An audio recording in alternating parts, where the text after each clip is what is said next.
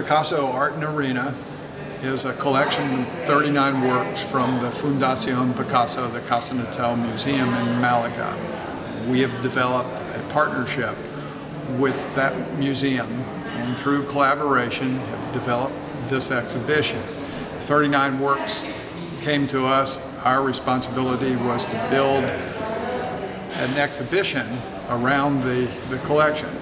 So because the theme of the collection is art and arena, all about tauromaquia, the bullfighting, we've created a bullfighting arena. So when visitors or spectators come to the Picasso exhibition and walk to the middle of the floor, they will be immersed in the middle of a bullfighting arena. They will see through scenic backdrops, vintage uh, photographs of, of the crowds of bullfighting circa 1925, 1926 or so.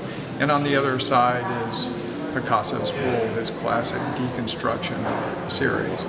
We've developed this incredible uh, docent corps uh, that's ready to uh, conduct guided tours for, for anyone who is interested in bringing a group. Otherwise, it's a self-guided tour. But February the 1st through May the 11th, 2013, the hours of operation Sunday through Thursday, 9 until 5, regular hours of the Visitor Information Center. And then on Friday and Saturday, we've created a special program, extended hours, for those who would like to come in in the evenings, where we stay open until 8 o'clock on both of those nights.